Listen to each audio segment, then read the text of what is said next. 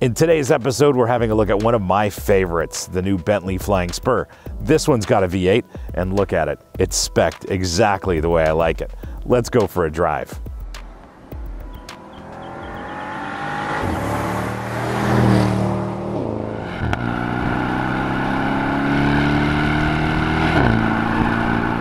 I'm your host, Brian Makse, racing driver, lover of driving fast, fun things, and I think this qualifies. And on this channel, you get reviews for drivers from drivers. Now, this Flying Spur V8 certainly different than the W12 that we drove a few months ago, and it adds a lot. It doesn't take away a lot, as we will discover. Sure, there is less power, but there is much more attitude and presence, certainly in this all black specification of this Flying Spur V8. So let's have a look at this car in a little more depth.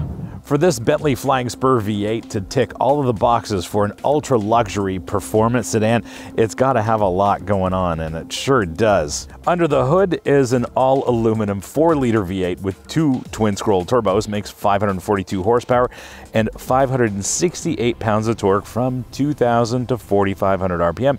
Does have cylinder deactivation.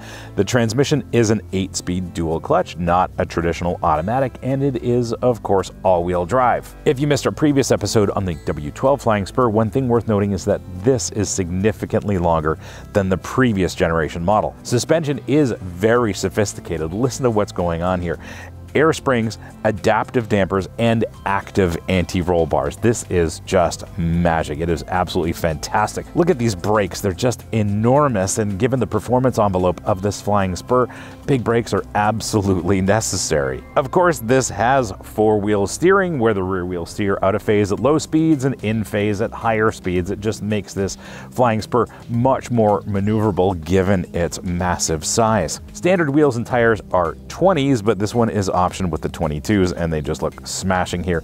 Inside, it is an abundance of luxury. It is very, very special inside. One of the highlights, of course, is that three position screen in the dashboard. I just love this. The key difference between this Flying Spur V8 and the W12, beyond the power difference, of course, is that this is over 200 pounds lighter than the W12, and all of that weight comes off the nose. So that changes the dynamic equation significantly. Still, curb weight of this Flying Spur V8 is 5,100 pounds, but what I will say is that it does not drive like a 5,000 pound car.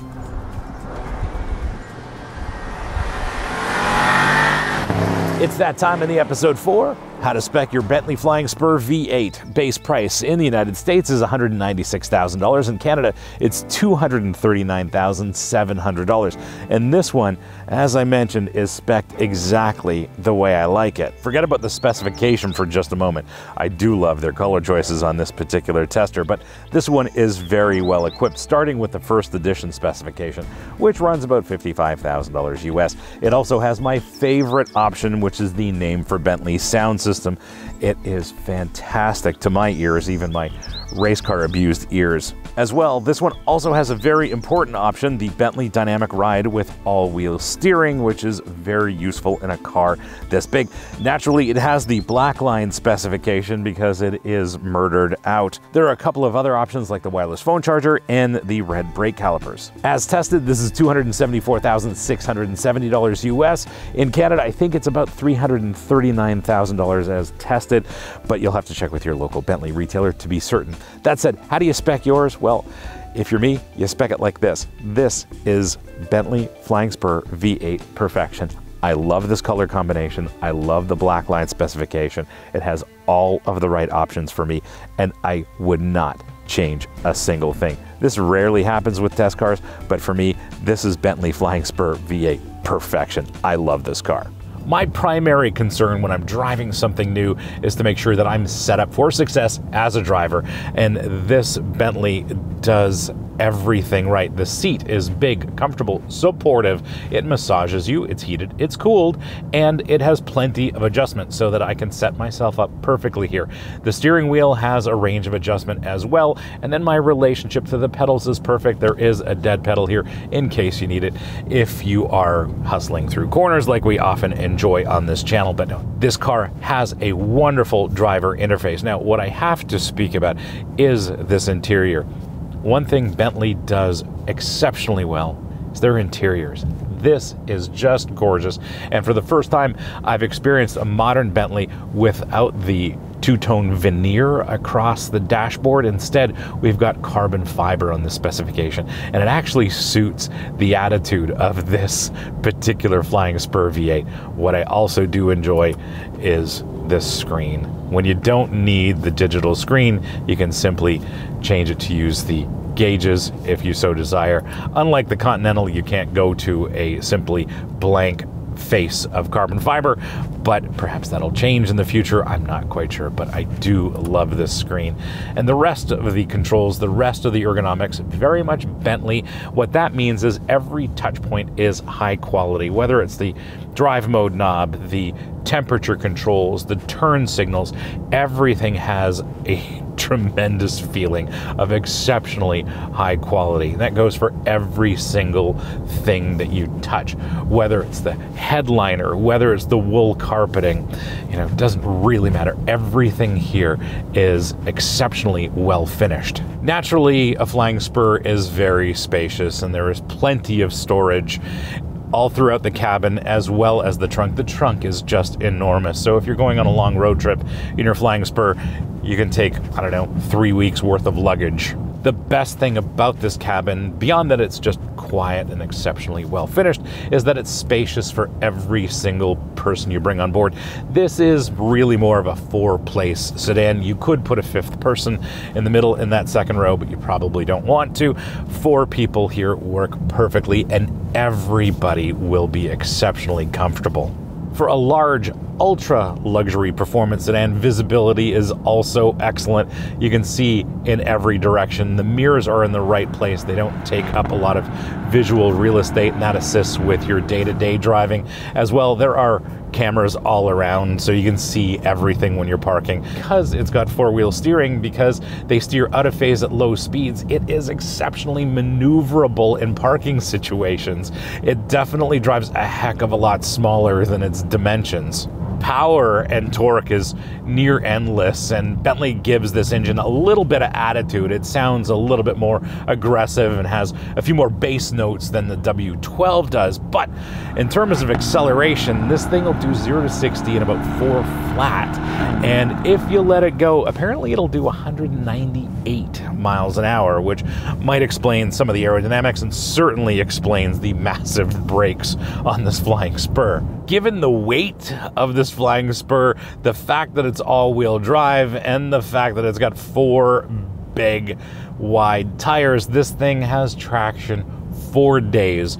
There is never any trouble putting down power. Whether you're accelerating from a stop or exiting out of a corner, this thing puts down its power like there's no tomorrow. And the power just seems endless with this engine. It really does. That has to do with the abundant torque that it makes. It's just got this big flat torque curve. It makes torque all the time, everywhere, and there's never any urgency. Simply get on the gas, the V8 builds torque instantly, and away you go. I'm sure I keep saying it, but this V8 gives the Flying Spur just a little bit more attitude than the W12. The W12 is definitely understated, whereas this V8 model has a little bit more sound and a little bit more of that aggressive V8 sound, which I love, and certainly it suits the character of this all black Flying Spur. With regard to the transmission, it is that dual clutch, so shifting up and down the box is seamless. And the way they've calibrated it, you really can't tell that it's not a traditional automatic. It operates so smoothly. One consideration for me is that every once in a while, when I'm shifting from drive into reverse, it takes a fraction of a second too long. And I know that's not much of a complaint, but here we are. There's really not much to complain about with this Bentley Flying Spur, that's for sure. I'd love to try this all wheel drive drive system in the winter, but in the dry, it's simply flawless in the way it distributes power.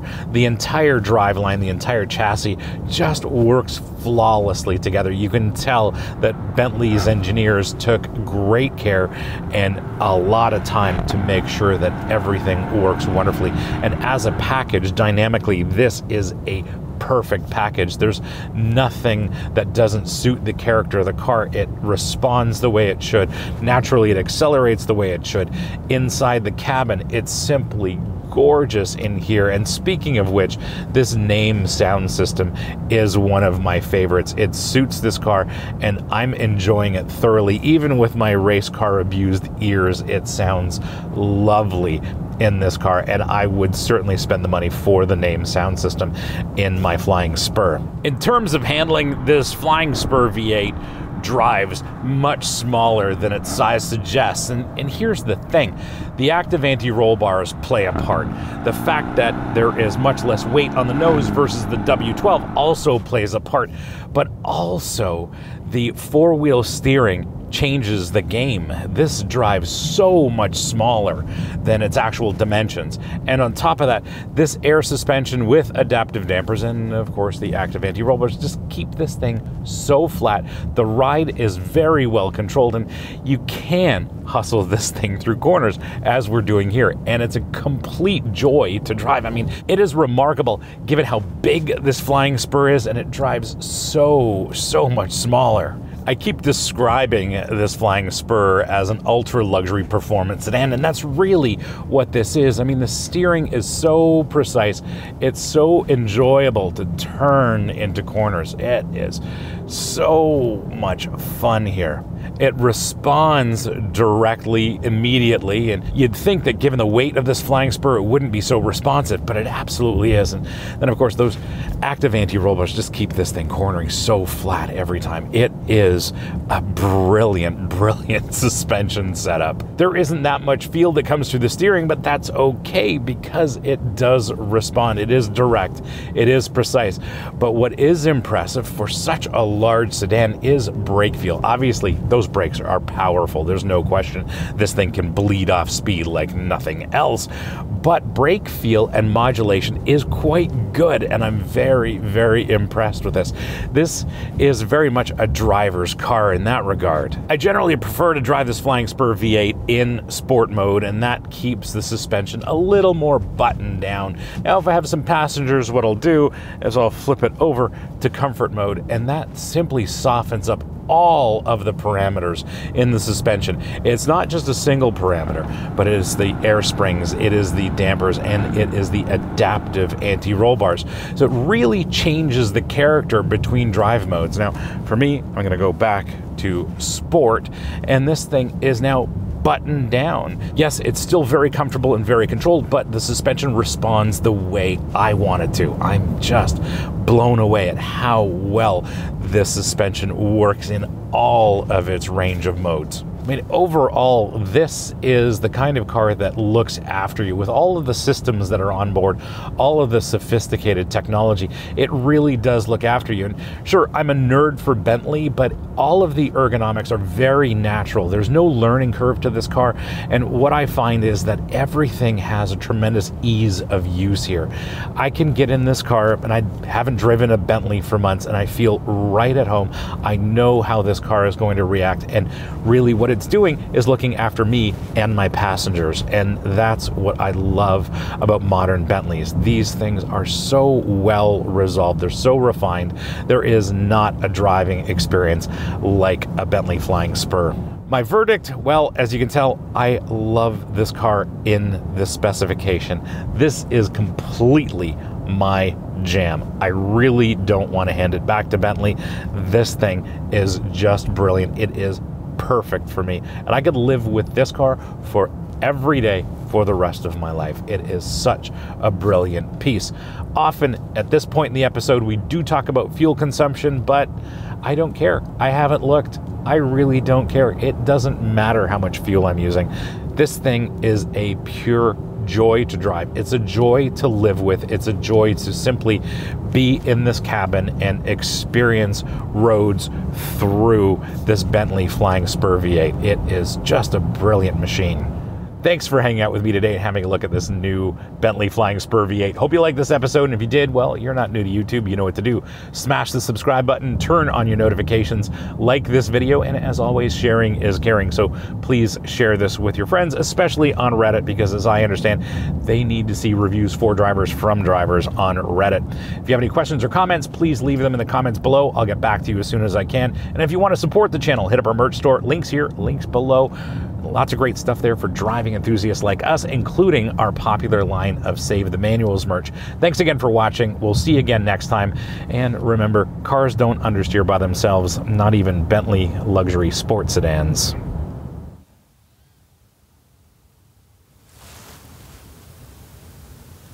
I can hear, I can hear.